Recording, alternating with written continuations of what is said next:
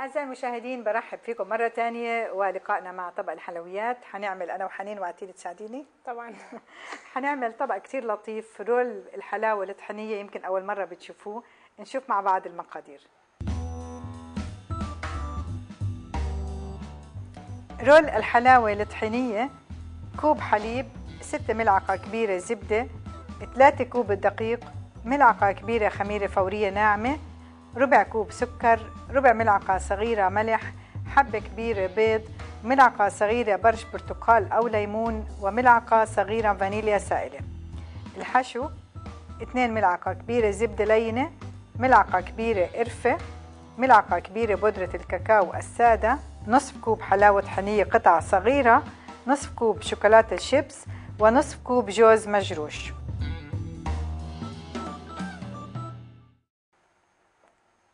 أعزائي المشاهدين الطبق اللي حنعمله اليوم زي ما قلنا طبق حلو لطيف جدا. أنا حبتدي أدوق حنين ال roll قبل ما نبتدي نعمله. شو رأيك؟ طيب okay. هو طبعا طيب كتير هو دافي فعشان هيك أنا بدي إياكي تستمتعي بالطعم. خليني أحضر لك طبق.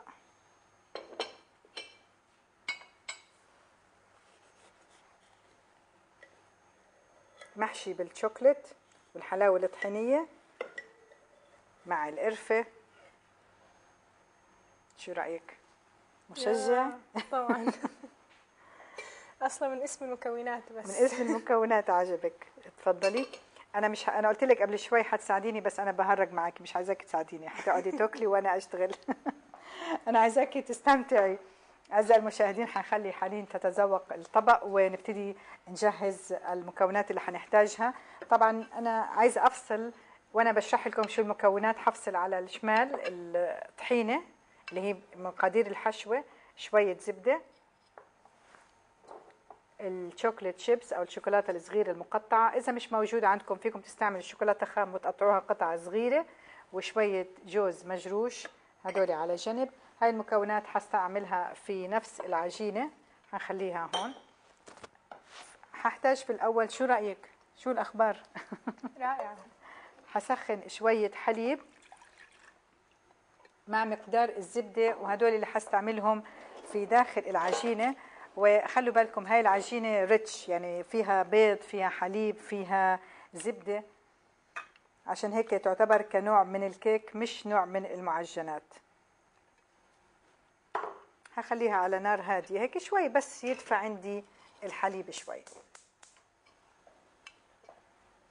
أبتدي في أثناء ذلك في وعاء الخلاط. أجهز مقدار الطحين. وإحنا دائما اتفقنا هذه أنا وياكم خلص أصبحنا أصدقاء في هذا الموضوع إنه ما بنحط مقدار الطحين كله في الأول بنحط بالتدريج على حسب ما تاخذ معانا العجينة. فهذه الأمور إن شاء الله تكون واضحة دائما معاكم. عشان هيك أنا هون بتلاحظوا مش كتير بكون دقيقة في إني أمسح المكيال بالضبط لأنه هذه حسب ما بسحب معانا طبعا الطحين. هون عندي شوي دقة في مكيال الخميرة لابد أكون دقيقة ويبقى ممسوح ملعقة الخميرة تبقى ممسوحة بالشكل هذا. طبعا الأطباء الدقة عندهم أساس. طبعا. حضيف. السكر.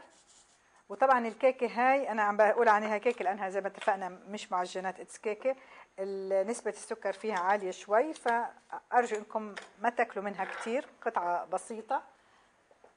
لمزيد من الطعم إحنا ممكن نطفي أعتقد النار هودي خلاص أوكي. لمزيد من الطعم إذا حبيتوا حضيف أنا شوية برش البرتقال وبرش الليمون.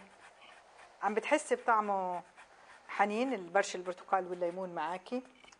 يعني معطي نكهة. آه. وخ... وخلي بالك أنت شو عندك؟ الحلاوة والجوز وال والحلاوة الطحينيه برضك أنت عارفة لها طعمها الخاص هيك شوية. هو mixture من ال mixture بالضبط بالضبط. يبقى حطينا البرتقال وبرش الليمون. وأبتدي هلأ أضيف بيضة. بحب أنا أكسر البيضة أول إشي في طبق قبل ما أحطها مباشرة.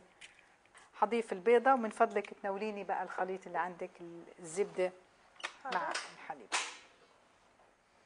دافئ أعتقد آه؟ مم، آه. أوكي. مش مهم عندي 100% تدوب الزبدة على فكرة. المهم يكون عندي الخليط دافئ وأبتدي أشغل.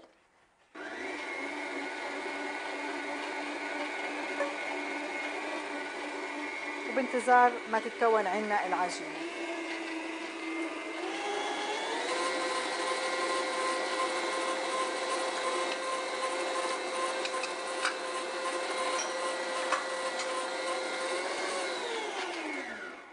تعالي ألقي نظره حنين هيك قريبة جنبي. لاحظي إحنا طبعا هلأ ما بنقدر نقول حنضيف طحين ولا لأ لأنه آه، لسه عندي طحين وما انخلط كله. فبنتظر شوي كمان.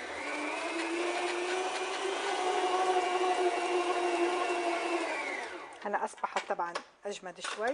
برضه هلا بقلل شوي الكمية ما ححط ربع عشان ما يبقى أوفر. وبرضه بعجن. تنسيش إحنا ما حطينا فانيليا. حرش شوي أحط شوية فانيليا برضه معهم فترات بسيطة ما نكتر.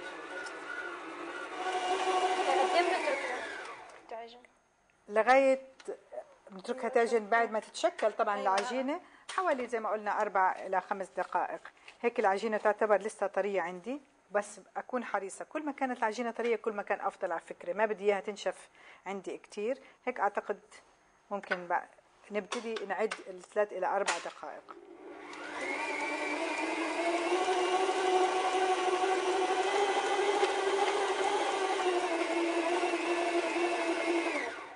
هيك أصبحت عندي جاهزة.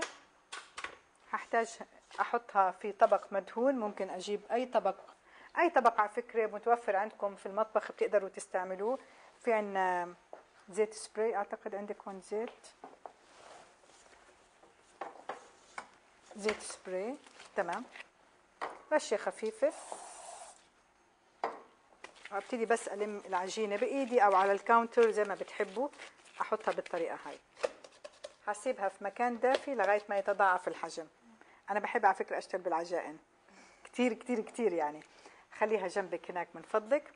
ونبتدي نجهز العجينة اللي صارت اوريدي عندي خامرة ومرتاحة. بس بتسمع صوتها هيك زي الطبلة. بعد إذنك حأطلب منك تعطيني النشابة أو الشوبك. هلأ بشيل العجينة بحطها بالطريقة هاي. خليني أحط الطبق هذا جنبي. وأبتدي أفردها إلى مستطيل مع استمرار الرش بالطحين طبعا. عشان ما تلزق عندي. خدتي بالك أنا شلتها زي ما هي وابتديت أفرد. ببتدي أفرد إلى مستطيل. قد ما بقدر أحافظ على شكل المستطيل قدر الإمكان.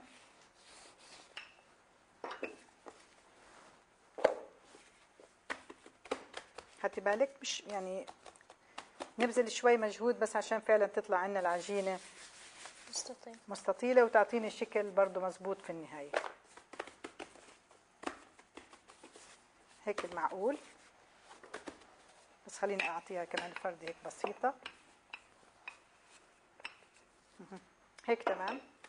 بحتاج هلأ خليني ممكن تحطي النشابه هي جنبك عشان ما يصير عندي زحمة كتير. حطيها هون آه جنبك أوكي. بحتاج هلأ شوية زبدة ممكن بأي سباتولا عندنا. زبدة تبقى لينة طلعينها من الثلاجه قبل بوقت. وطبعا أنا عشان أكون صريحة معاكم هذه الوصفة تعتبر دسمة شوي لأنه فيها ما شاء الله مكونات كتير فما تاكلوا كتير. أنا وصيتكم. صح. ناكل قطعة بسيطة. بحاول بالسباتولا هيك أوزع الزبدة بهذا الشكل لغاية ما تتغطى كليتها كويس. بوزع القرفة. المارجرين بدل الزبدة. ممكن نستعمل عادي؟ المارجرين ما في مشكلة. وزعنا طبعا الجوز. زي ما قلنا إذا مش موجود عندنا الشوكليت ممكن أجيب قطعة صغيرة من الشوكولاتة العادية الخام وأقطعها بشكل مناسب وأقدر أستعملها.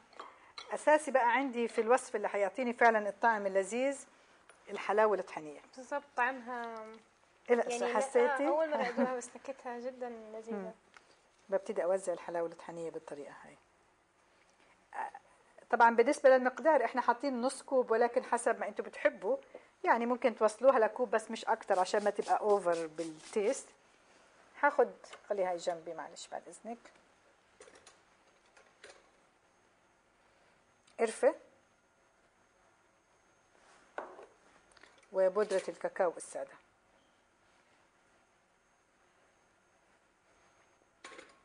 شو رأيك هلأ بهال الطعم وهالفطيرة هذه؟ خليني أشيل هدول من على جنب وأبتدي أتكلم عن طريقة خبزها عشان لازم أكون أنا مجهزة لكم الصينية اللي حخبز فيها. هلأ عندنا اقتراحين معلش أنا بشتغل الدنيا مقلوبة بس عشان أشرح لكم بالضبط. إما أني أستعمل قالب الكيك اللي هو التقليدي اللي عندنا في كل بيت ماما عندها واحد زي هذا. طبعا. أنا هذا اللي استعملته عشان نحصل على هذه الكيكة زي ما أنتم شايفينها بنفس الطريقة. يمكن في ناس مش موجود عندهم ما متحنين عندها you are lucky بس إذا مش موجود عندك ممكن تستعملي صينية عادية مدورة. أنا عندي هون فكرة كتير لطيفة خلي القالب هون ولا نحطه جنبنا هون عشان يبقى سهل تشوفوا ممكن آخذ صينية عادية بالشكل هذا وأعمل فيها. هذه حاط في الوسط هذه القطعة. هاي القطعة بتبقى بتنباع لحالها خصوصي بدل الجزء اللي هو في الوسط دائما موجود هذا هون. فبقدر أشتريها متوفرة وبحطها وأحط الكيكة كأنه أصبح عندي قالب ذو فتحة في الوسط زي ما بنسميه. فشو رأيك عايزه هاي الطريقة ولا هاي الطريقة؟ لا خلينا نجرب هذه. نجرب هذه. ما بحتاج أدهن الصينية بأي شيء ببتدي ألف العجينة بهذا الشكل. هلا لما بنوصل للآخر انتبهي يا حنين ما بضلني الف عشان ما تطلع الحشوة بشكل مش مدروس. هلا وصلت هالمرحلة بأمن الأطراف بس اللي باخذ هذا الجزء هو اللي برفعه لفوق. بالضبط. واضغط عشان أتأكد إنها انقفلت عندي كويس وهاي من الأساسيات بهذا الشغل. الصينية موجودة جنب عندي أحاول أخذها. الفتحة اللي أنا كنت بشتغل فيها ولزقتها تبقى في القاع تحت وأبتدي أقفل الطرفين هدول على جنب بهالشكل هذا. أحاول قدر الإمكان أعطيها نفس المقاس لأنها كانت هون صغيرة. ف أنقل وأحطها في داخل الصينية بالطريقة هاي. ما نقفلها كتير هون لأنها طبعا حتتمدد. فأعطي مجال إنها يكون عندي حوالي 2 سم هيك على الداير. بغطيها بورق النايلون أو بغطيها بفوطة بسيبها في مكان دافئ لغاية ما يتضاعف الحجم وبعد هيك بدخلها فرن على درجة حرارة 190 حوالي 25 30 دقيقة لأنها كبيرة شوي بتبقى لغاية ما تطلع عندي بالشكل هذا. تمام؟ أسيبها تهدى شوي طلعها من القالب قطعها وضيف حنين. كمان أعزائي المشاهدين إن شاء الله تكون هالوصفة عجبتكم ونبتدي أنا وحنين نجهز لكم السفره